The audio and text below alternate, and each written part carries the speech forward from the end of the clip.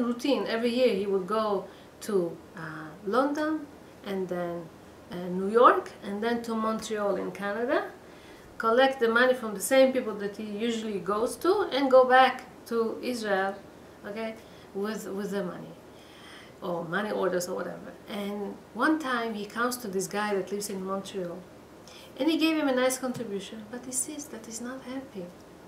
He sees that he's sad. He's asking him, what happened? So he tells him, since you asked already, I'll tell you, look at my house. A huge mansion. I have accessories. I have all kind of furniture. I have all kind of gadgets. I have everything. But the house is empty. No children. Mm. And, and, and, and it saddens me, it, it bothers me. What should I do? We went to the best doctors.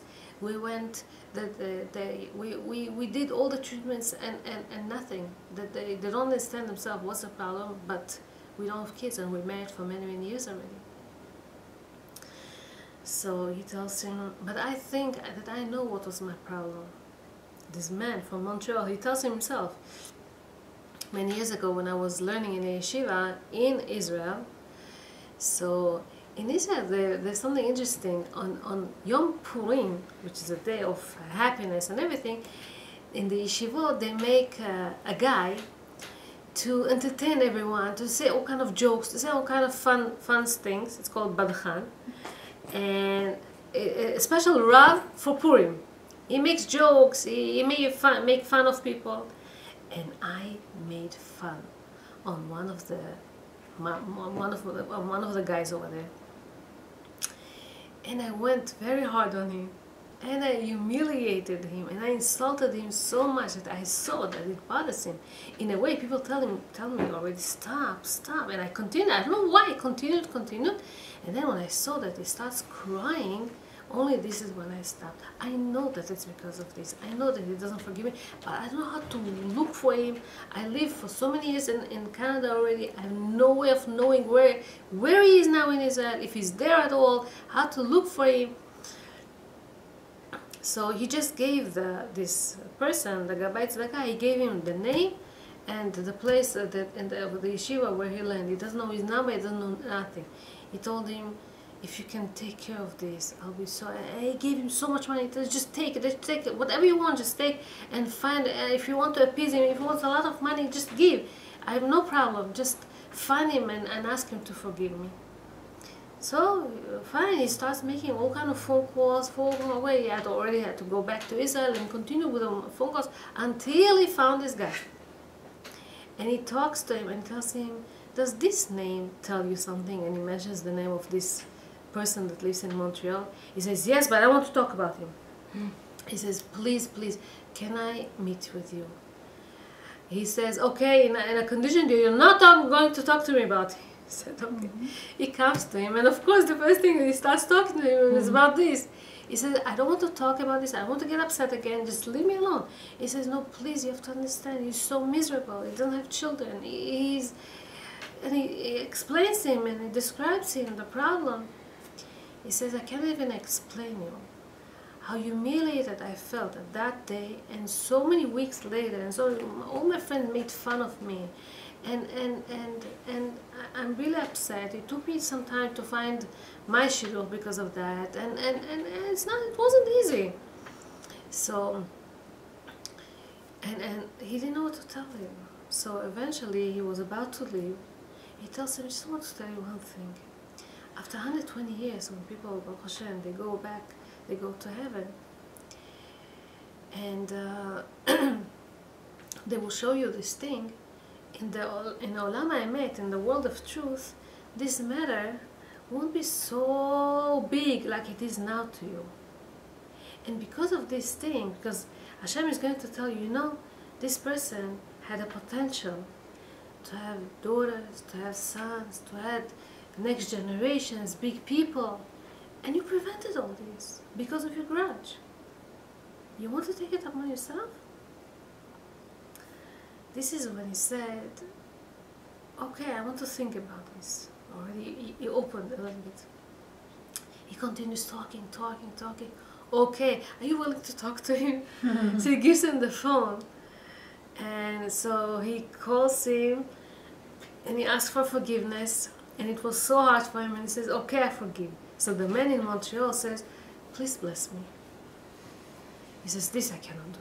Oh. I cannot do. I So can't. didn't forgive. Please forgive me. Please, uh, please bless me. And he asked him and he begged him and then he blessed him.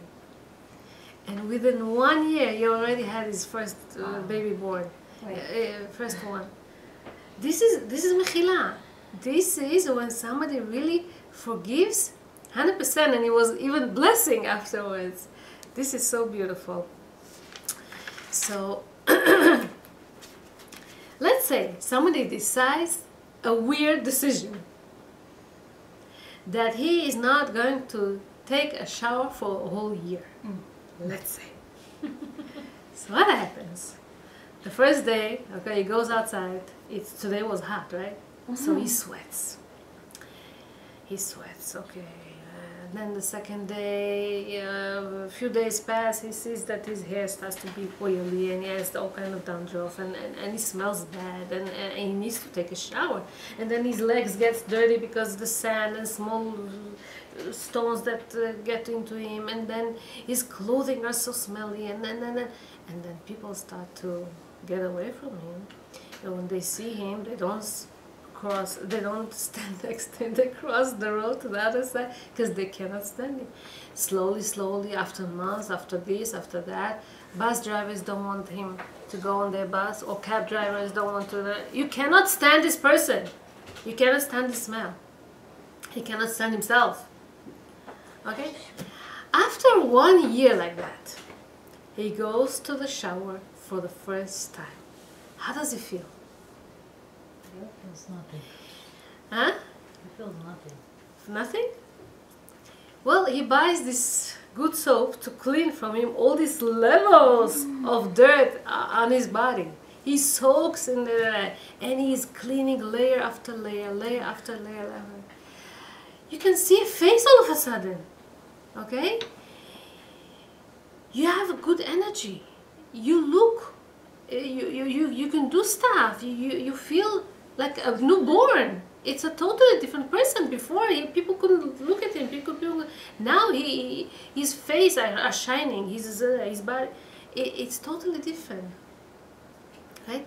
This is what happens when people they decide that they want to be clean, and that's what happened to us on Yom Kippur every year. Okay, how do we look like as Yom Kippur ends? We're like angels.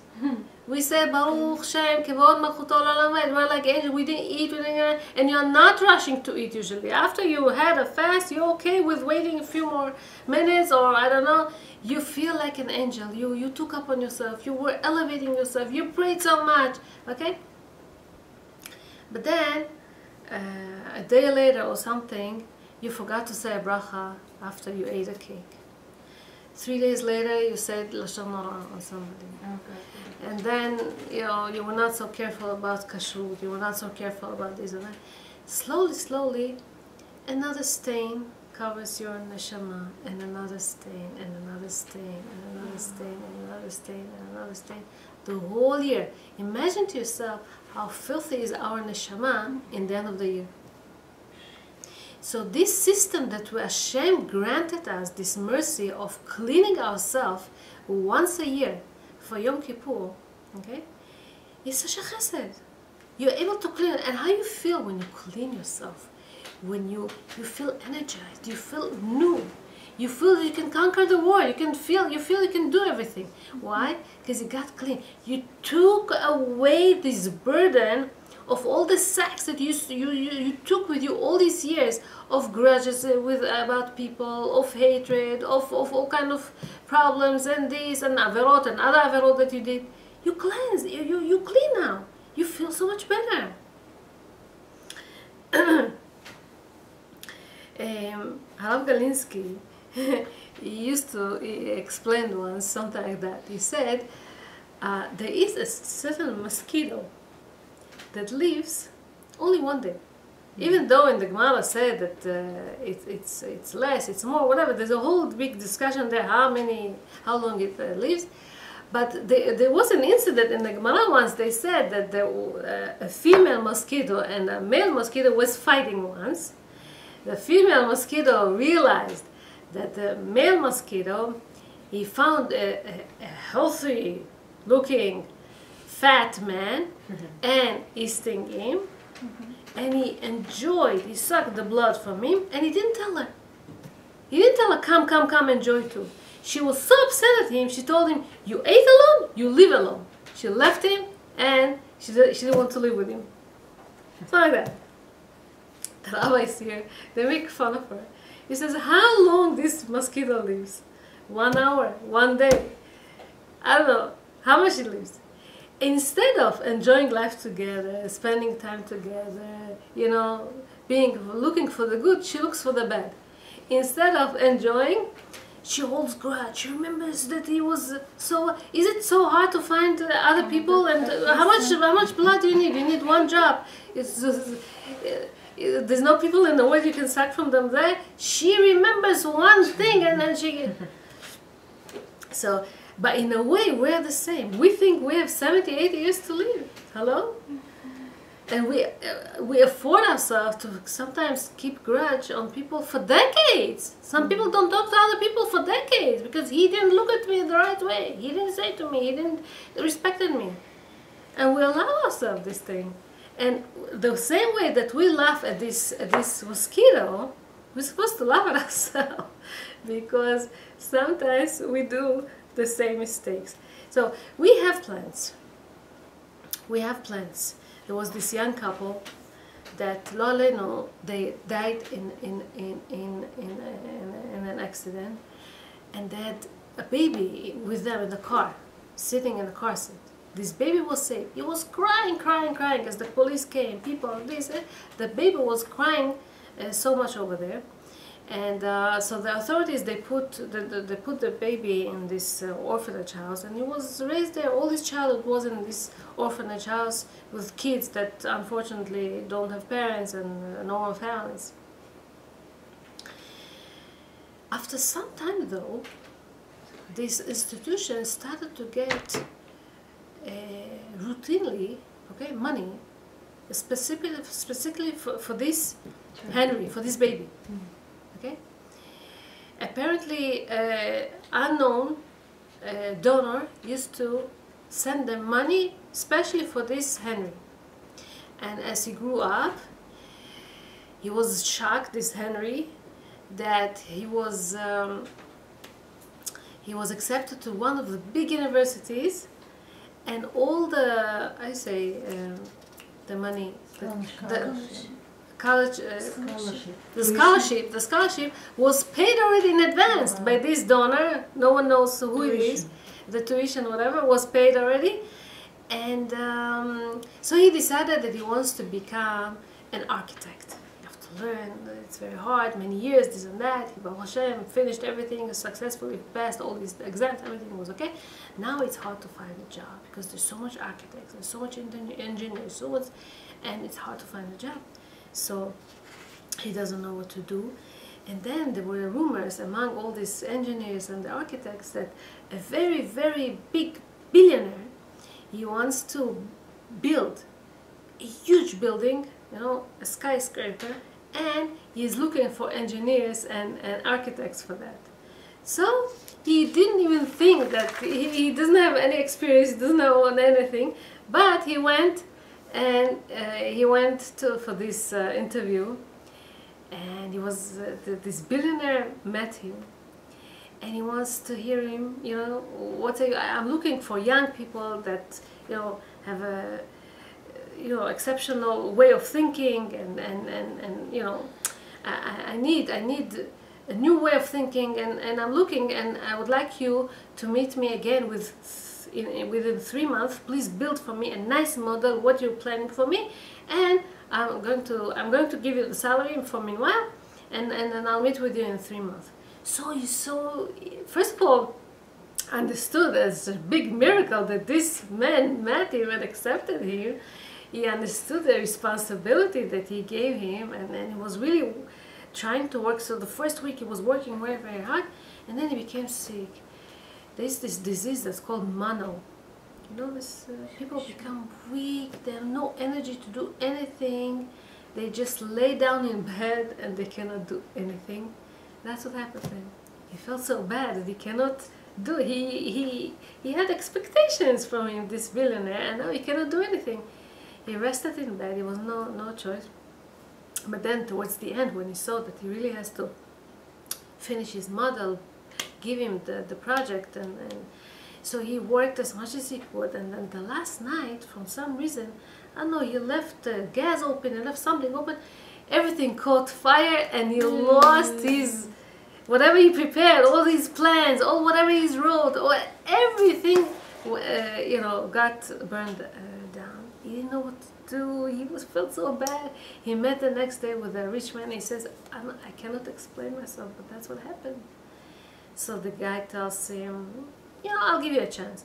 Can you explain me by heart at least what were your plans? And he explains him and he tells him this and that. And he says, listen, I like it. I want it. I really want it. He says, why are you so good to me? You, don't have to look at me. Why are you so good to me? So the rich man tells him, you know, from young age, uh, whenever your parents passed away in this, uh, in this accident, I was in that scene. And I saw you as a baby crying out for help, and I felt so mercy, and I took upon myself to help you. Mm. So I paid for your orphanage, and I paid for your tuition, and I paid for all your expenses, this and that, and I really want to help you. Mm-hmm. So you just go ahead with your plans, and I will put you, you're going to be in charge of building this thing, you're going to be, you know, inspecting this and running, you're going to be in charge of this, don't worry. I just want you, you do your plans and I will help you as much as possible and, uh, and uh, everything should be okay. Basically, the rabbi gives this as a mashal. They say, in the high, in the high holidays, we take upon ourselves all kind of kabbalot, mitzvot, kabbalot. You say to yourself, I'm going to try not to speak one hour Lashon Hara a day. Mm. I'll try. I'll try to accept the Shabbat five minutes early or mm. to take it out five minutes later. It's not, it's not so hard like accepting it. I'm going to try to, to work on this. I'm going to try to work on that. We have so much plans.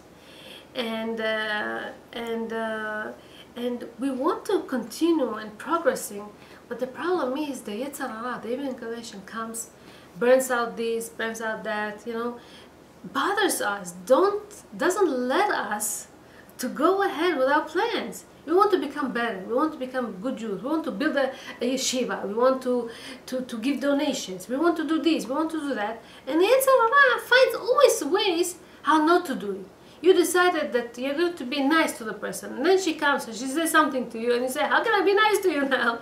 And it's just the the even kind of doesn't let you to do this uh, to do these good things that that you you took upon yourself. And we beg to Hashem Hashem please God, give us another chance. We're praying to you we want to continue on. We want to go forward. Please accept our prayers so that and give us the, the strength and the life to continue doing what we want. And Hashem gives us. Hashem gives us life. And Hashem grants us good life not only life but good life.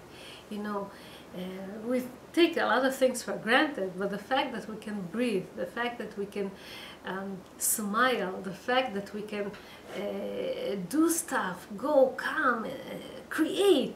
It's a whole big thing.